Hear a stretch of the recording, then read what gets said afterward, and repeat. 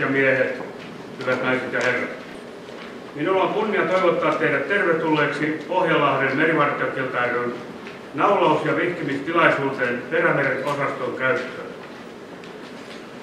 Arvokasta tilaisuutta me tänään juhlistaa erityisesti Lapin sotilassoittokunta, Oulun kaupungin edustaja, edustaja puolestaan osaston kotikaupunkiin.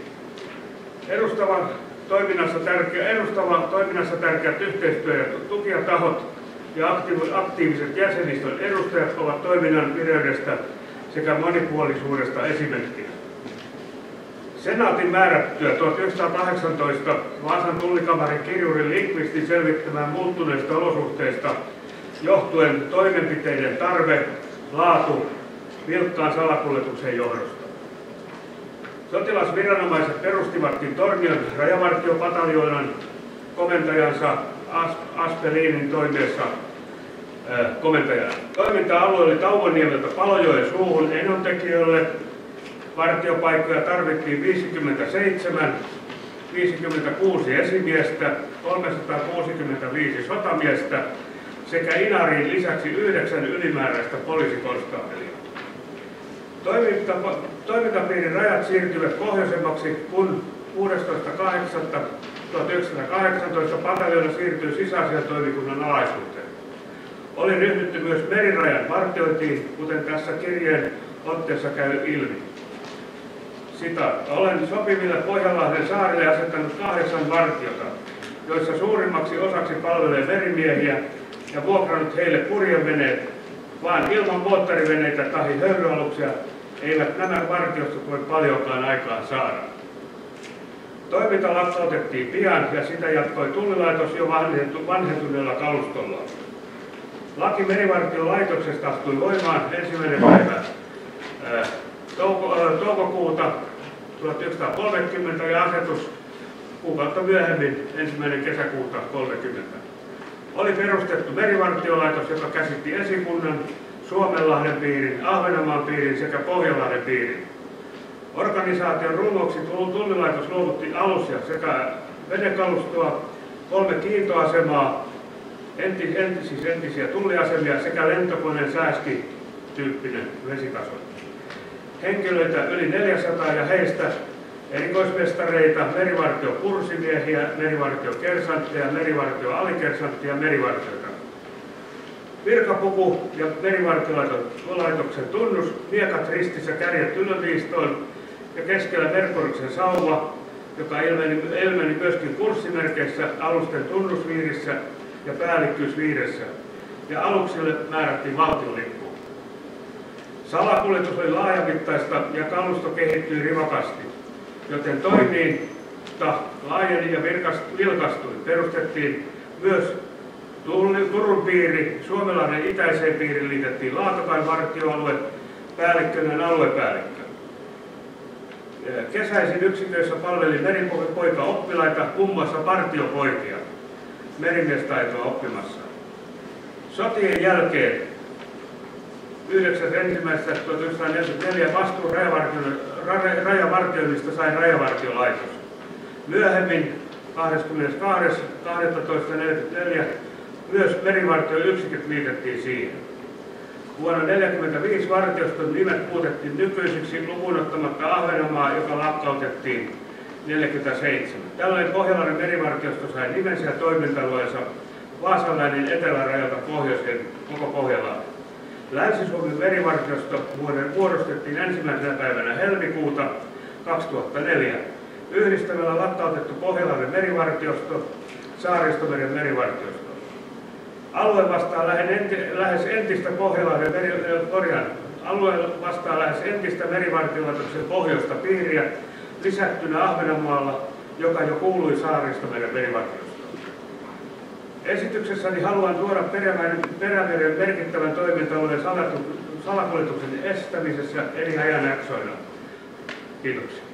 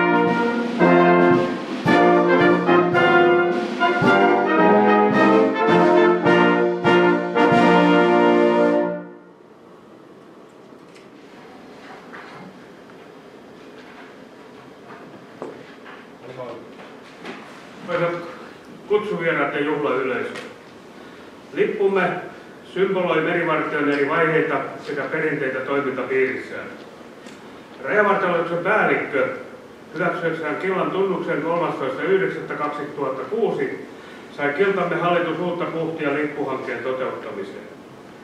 Pohjanmaan maakuntajohtaja Ulla Vien sekä Vaasan kaupunginjohtaja Markku Lumio puolestaan myönteisesti ilmoittivat esityksemme hyväksyvänsä lipun salonpuoleisen yläkulman vaakunan muodolle käytön lipussamme. Kiltamme hallituksen toimesta on valmistettu kaksi lippua, joista tänään naulamme toisen lipun Terämeren osaston käyttöön. Killan hallituksen tavoite oli käynnistää toimintaa myös muualla Pohjanlahden rannikolla. Siinä onnistuessamme voisimme tarjota kasvavan jäsenistömme paikallisosaston lipun käyttöönsä luonnollisesti sen juhlallisen naulaamisen ja vihkimisen jälkeen. Nyt on se hetki. Lippuselitys. Killan lippu on suorakaiteen muotoinen, 110 kertaa 130 senttimetriä, pohjaväriltään tumman syvän sininen, keskeisenä killan tunnus, pyöreällä tumman syvän sinisellä pohjalla, merkissä koukkaimpana keskellä merivartiolaitoksen kautta merivartiostojen tunnus, ristissä olevat miekat kärjet yläviistoon ja keskellä Merkuriuksen salva. Sekä molemmin puolin ulkokehälle katsovat rajavartiolaitoksen tunnuskuvan mukaiset karhunpäät. Kaikki kullan värisenä, jotka kuvaavat merivartiointia aluemerellä ja merirajalla rajavartiolaitoksen enää tehtävällä mukaisesti. Sekä ulkokehällä kaksi erillistä pyöreää neulottua oranssikehää kuvaten alueen rajavesi- ja perinnejohtoisesta toimintapiirissä painottaisin siitä, tässä siihen, että normaalisti ihan heraldisen sääntö mukaan aina katse on keskiöön. Mutta koska rajavartiolaitoksen tehtävät on sitä, mitä ne on, eli kansanomaisesti sanottuna rajavartiolaitos toimii Suomen laillisen hallituksen silmänä ja korvana raja- ja merialueilla. Ja luonnollisesti pyrkii ennakoimaan kaikkea tulevaa. Se, että se miten se on nyt realisoitunut entisestään, niin se on hämmästyttänyt. Lipun salonpuoleisessa yläkulmassa on halkoiseen vaakunakilpeen yhdistetty Pohjanmaan vaakuna, sinisessä kentässä kuusi juoksevaa hopesta kärppää, joiden hännänpäät on mustat, sijoitettuna 2 plus 2 plus 2. Ja Vaasan vaakunan lyhde punaisessa kentässä kuninkaallisen Vaasasuvun tunnuskuva rynnäkköön kippu keltaisena oikeanpuoleisen kenttään. Huomaan, mainitsen myös, että muoto on sama kuin perinnejoukko-osastomme PLM-lipussa. Ja sitten kilven päällä on kreinikunnan ruunu. Lipun tekijä oli Lauri Ojutkangas, lippuvalmistamo Ojutkangas Oy Lapua. Lipun suunnittelija merivartioluottatti EVP Hannu Vallius. Lippu on hyväksytty Pohjanlahden merivartiopilotta ryn hallituksen kokouksessa. Kutsun seremoniamestarin tehtäviksi. Haluan teille kaikille lukea tiettäväksi Kiltamme kunniajäsenen varamiraali Jaakko Smolanderin tervehdyksen. Onnittelen Pohjalahden merivartiokilan perämeren osastoa oman lipun vihkimisen johdosta. Toivon lipun käytön syventävän merivartioperinteiden ylläpitoa ja kehittämistä perämeren alueella. Lippu tulee elämään kanssanne yhteisissä juhlissa ja teidän vartioimana alueen sisä isänmaallisissa tilaisuuksissa. Viimeisenä tehtävänä tänään vihitty lippu saattaa seuraajansa ikuisen lepoon isänmaamme multiin. Kunniajäsen varaamiraali Jaakko Svolanen. Sun ensimmäisen naulaajan lippuet amiraali Tumhaneen rajavarjotolaitoksen esikunnasta ja henkilöosaston päällikkö.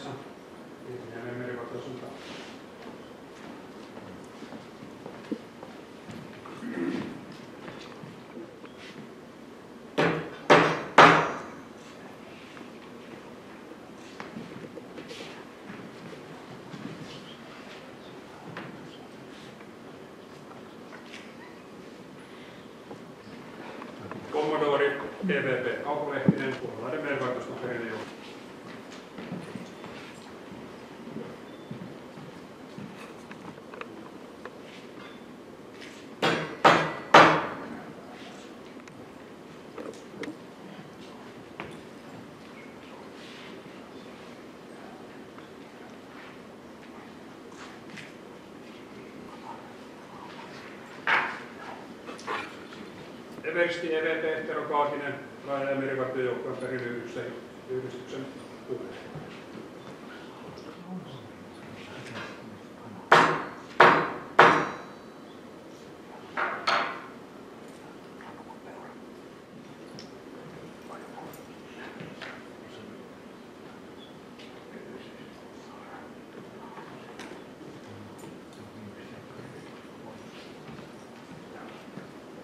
Komentaja EVP Matti Kropsu, Oulun merkatuelen alueen entinen päällikkö.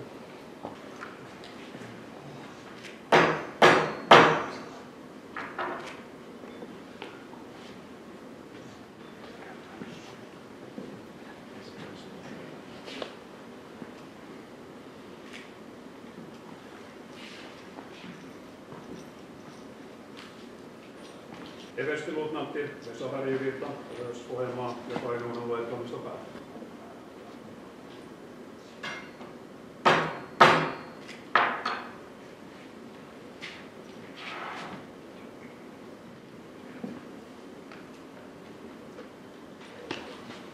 Majori EVP Juha Hänninen, Oulun kaupunginvaltuuston puheenjohtaja.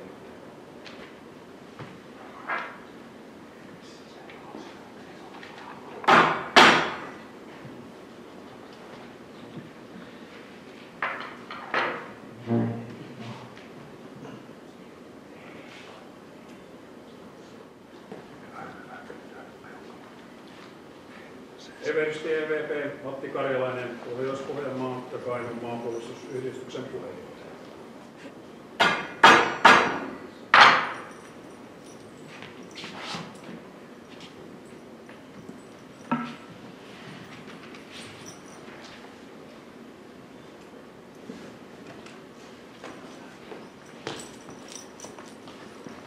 Ylikomissaario Arto Autio, Oulun poliisilaitos.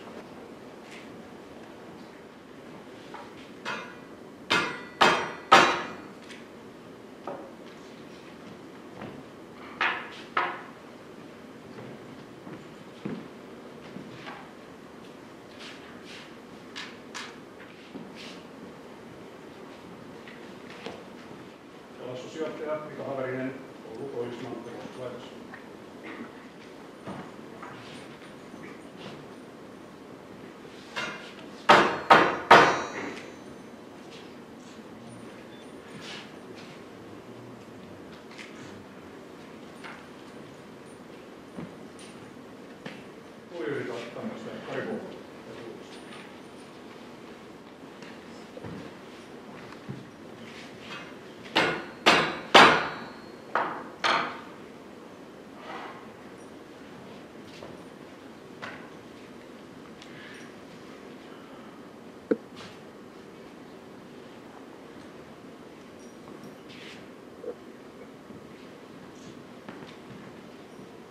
Puheenjohtaja Pekka Takkula, Oulun Merkelassa ry.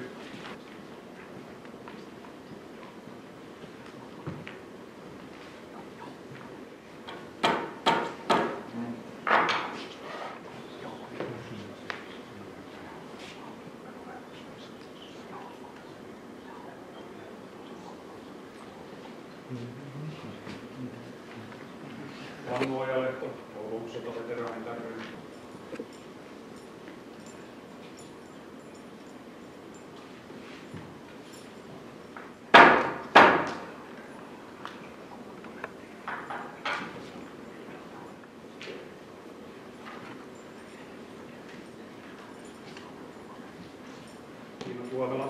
sobre los que published are read.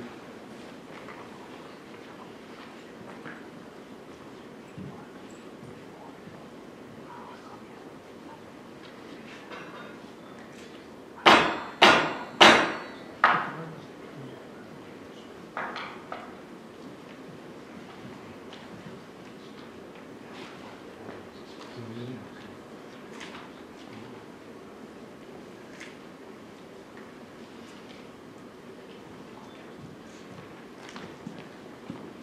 Merikuun.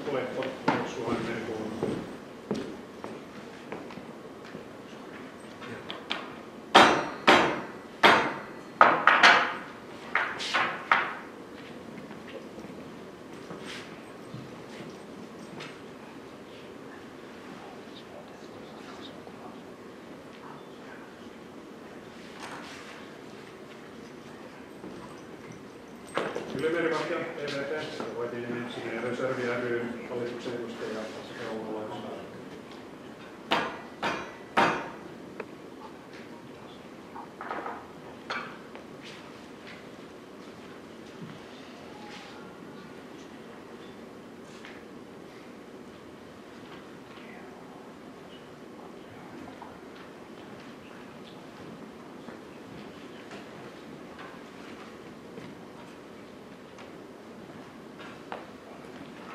Puheenjohtaja Priina Takala-Karppanen, Merellinen Oulu ry.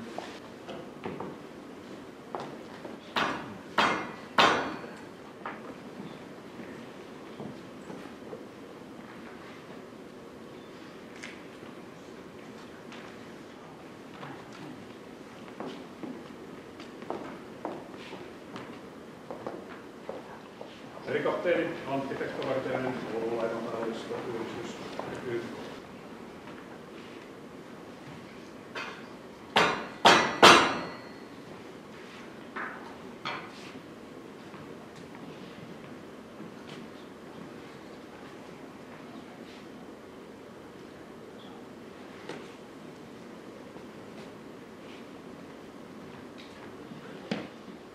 Salo, Raidostonkilan Oulun osaston edustaja.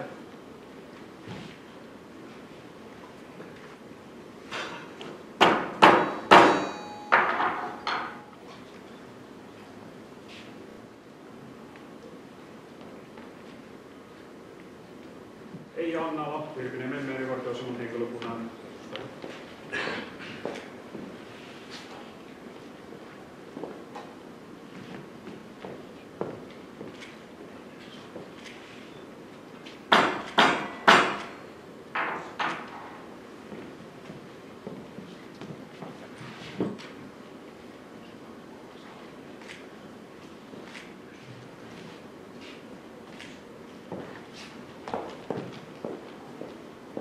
Yliluutnantti EVP Toivo Ervasti, Virpiniemen merivartioaseman ja Oulun mer-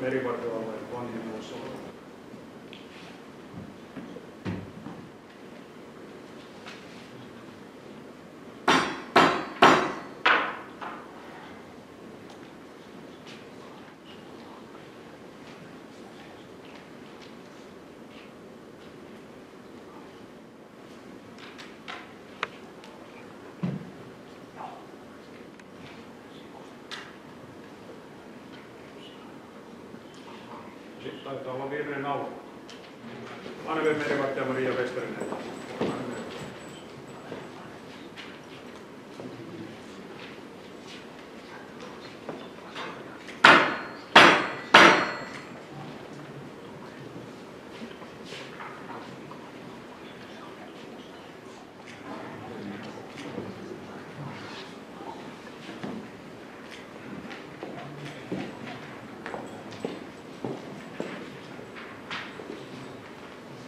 Herra amiraali, arvoisat kutsuvieraat, hyvät pojat, Lahden merivartiotilan jäsenet.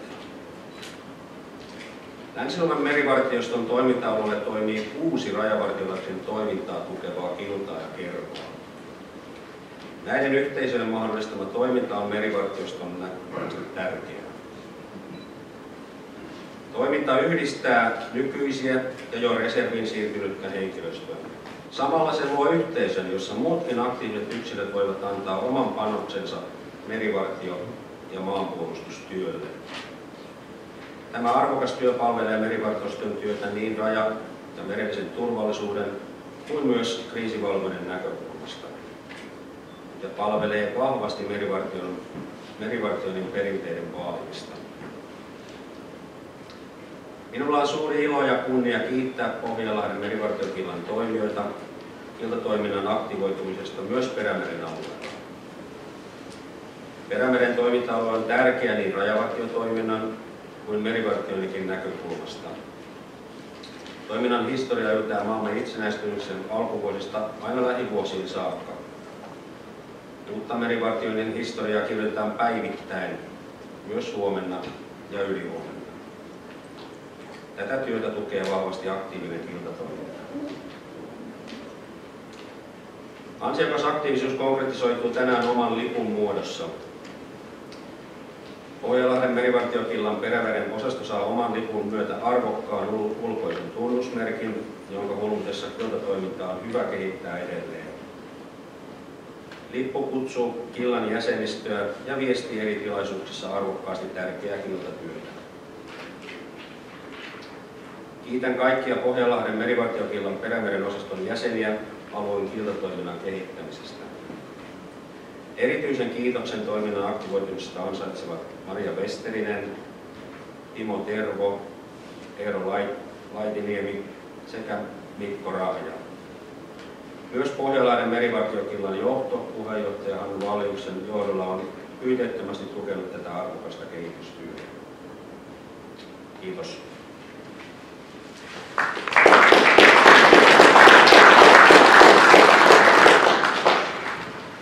Merimieskillan lippu. Kiitämme kaikesta siitä työstä, mitä rajojen vartijana tehdään myös merellä oman itsenäisemme turvallisuuden eteen. Lippu on tunnus, symboli. Sillä on ikivanhat juurensa ihmiskunnan historiassa. Muinaisten kansojen päälliköt käyttivät eläinten päillä, hännillä, lintujen suilla ja muilla esineillä koristeltuja sauvoja, joiden avulla he johtivat omia yhteisöjä.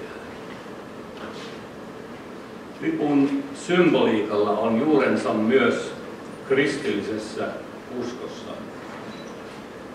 Vanhassa testamentissa neljännessä Mooseksen kirjassa kuvataan israelilaisten autiomaa vaellusta Egyptistä luvattuun Kanaanin maahan.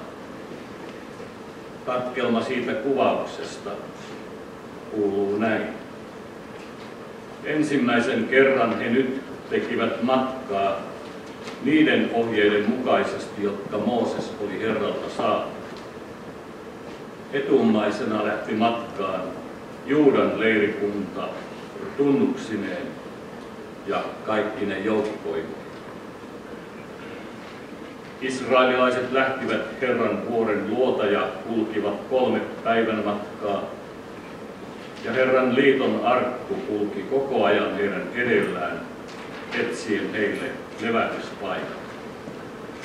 Herran pilvi oli joka päivä heidän yläpuolellaan, kun he lähtivät liikkeelle leiripaikastaan. Aina arkun lähtiessä liikkeelle Mooses sanoi, kulje edellämme Herra. Hajota vihollisesi, karkota vastustajat tieltäsi. Arkun pysähtyessä hän sanoi, jää luoksemme Herra. Tuota raamatussa kerrottua matkaa taivalsi suuri joukko ihmisiä, kokonainen kansa. Siinä oli kaiken ikäisiä, pienistä lapsista vanhuksiin, nykykielellä sanottuna vauvasta vaariin. Oltiin karussa autiomaassa, jossa uhkasivat monet vaarat, ja oli ensiarvoisen tärkeää, että väki koki matkan teon turvalliseksi. Se vaati järjestäytynyttä, hyvin johdettua toimintaa. Sen tähden jakannuttiin leirikuntiin.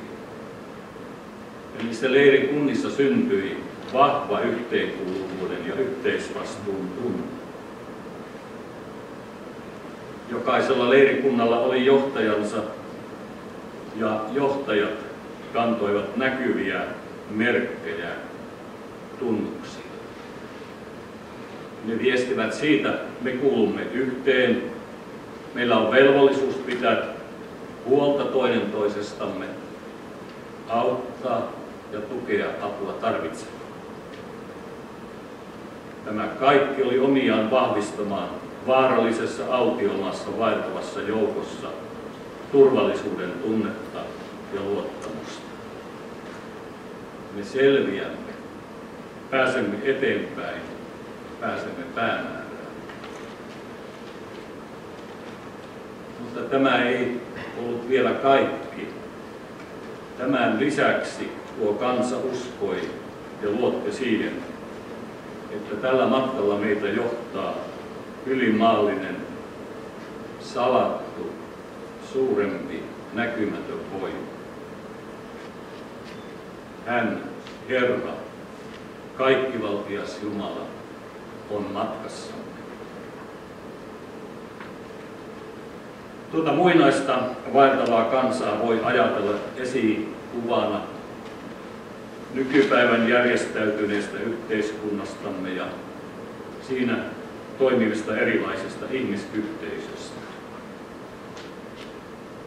Samat arvot, jotka kantoivat kerran Israelin kansaa noissa muinaisissa ihmisyhteisössä, ovat meillekin kestäviä ja kantavia arvoja.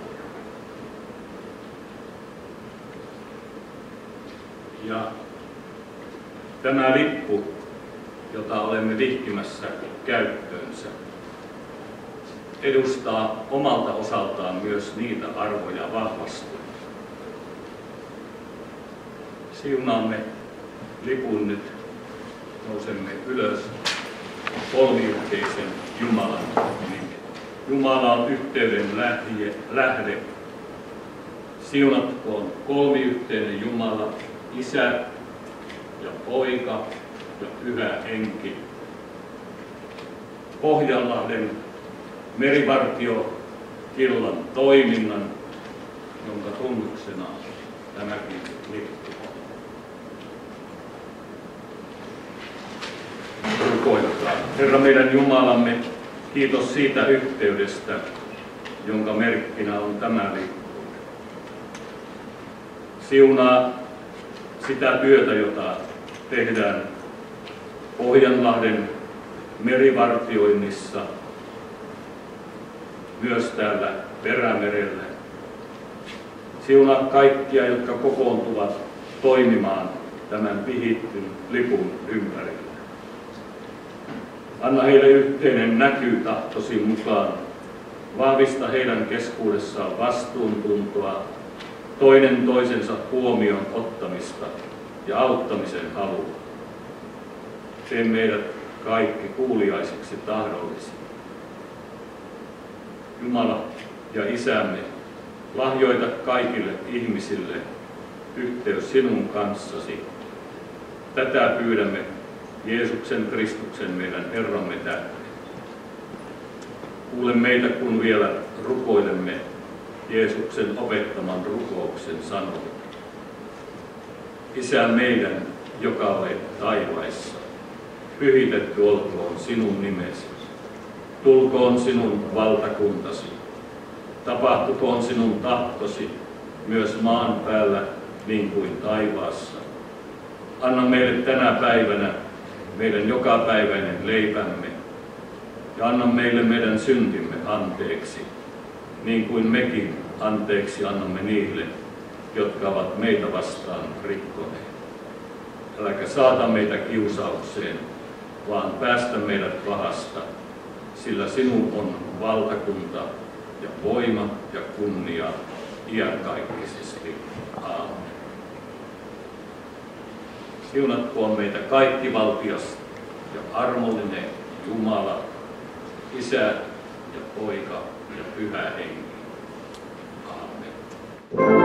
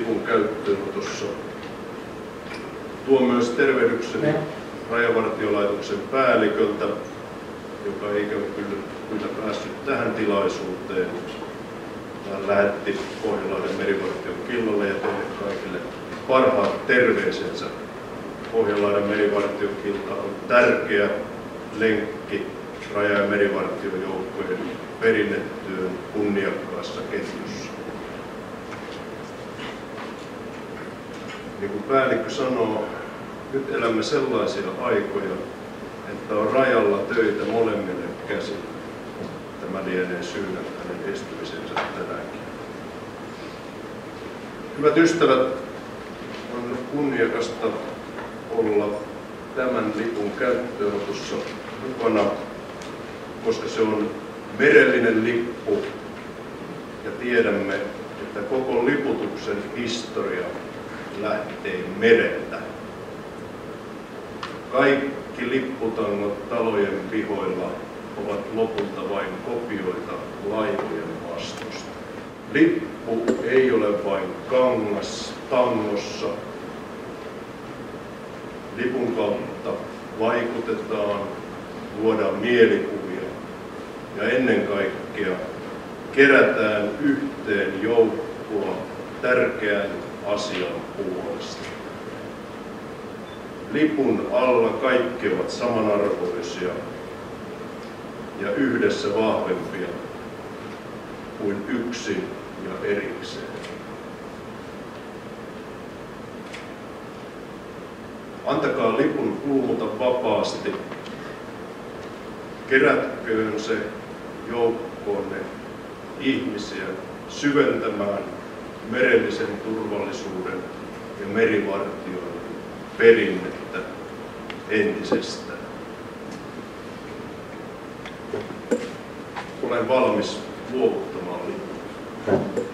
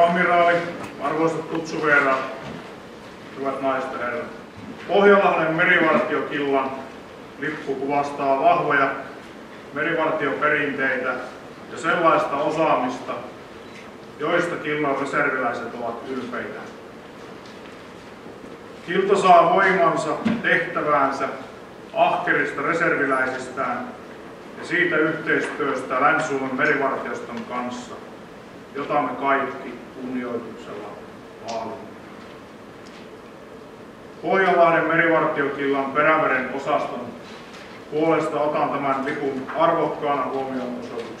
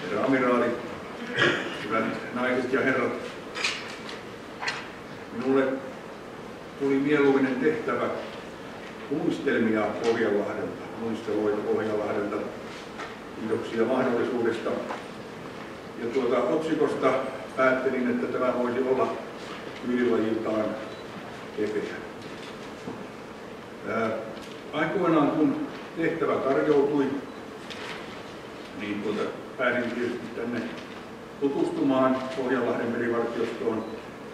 Edeltäjäni, komentaja Mikko Ruutu, kehotti, että kierrä yksiköissä, laita itsesi likoon ja heittää.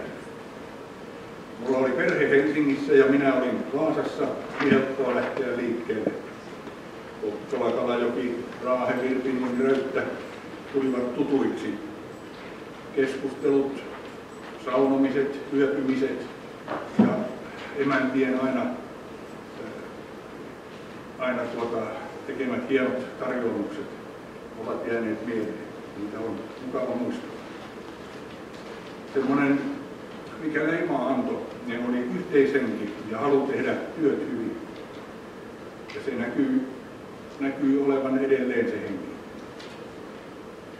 Ää, täällä tuota, mietin näitä aiheita, niin tuli semmoinen mieleen, että kokeiluja ja toimintaa, rajajärjestelyitä Lapin rajavartioston ja Pohjanlahden merivartioston välillä tehtiin 90-luvun lopulla.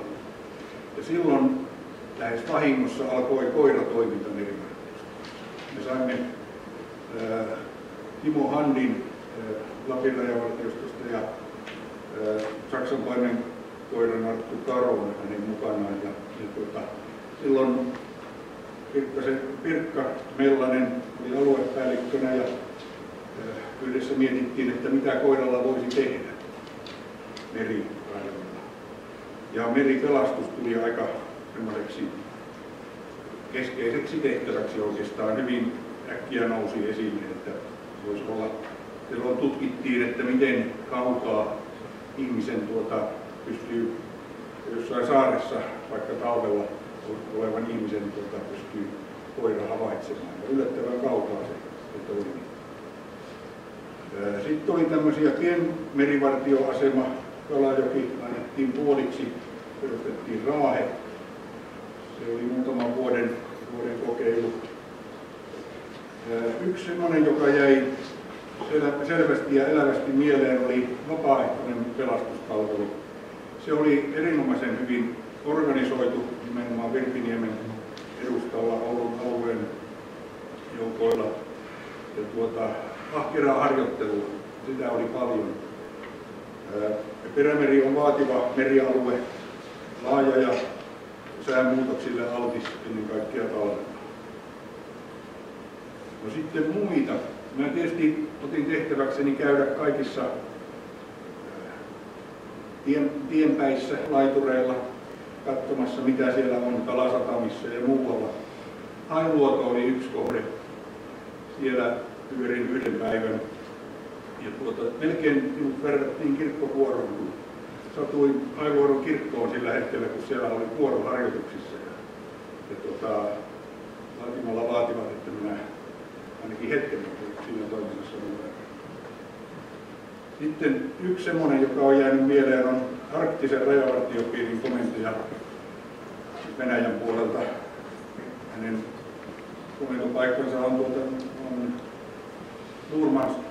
Ja tota, hän oli kenraali Ahosen vieraana ja kurilla me vietiin hänet Ruotsin rajalle. Sitten esiteltiin, että tässä nyt on raja. Tässä voi golfia pelata ja, ja tuota, se hämmensi, hämmensi tämän kenraalin perinpohjaisesti. Yksi semmoinen, mikä on jäänyt myöskin mieleen, on partioston hiihtomestaruuskilpailu Kalajoella. Ja se sitä arvostan, että kaikille oli pokaa, myös viimeiselle neljännelle. Semmoinen pieni, mutta se on edelleen tallessa.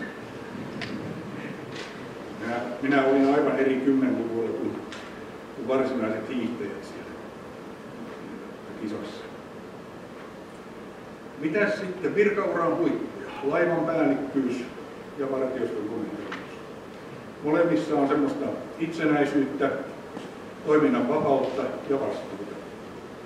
Ja mä olen todella ylpeä onnellinen siitä, että sain olla komentaja juuri pohjalla. Kiitoksia.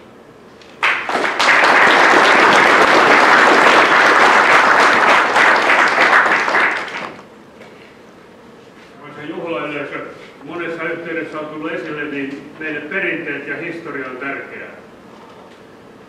Ja niihinkin tietysti voi monella tavalla suhtautua, mutta silloin kun se otetaan asiallisesti ja arvostavasti, niin me ollaan silloin justiin samoilla vesillä. Meillä on tapana kiittää niitä, jotka laittavat itsensä likoon ja varsinkin, jotka myöskin tukevat sitä likoon laittamista.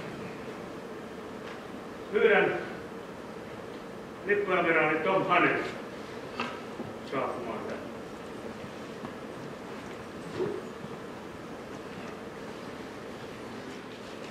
Pohjalainen merivartiokilta antaa teille pöytäkirjin numero 73 kiittäen merivartioinnin historian hyväksi tehdystä työstä.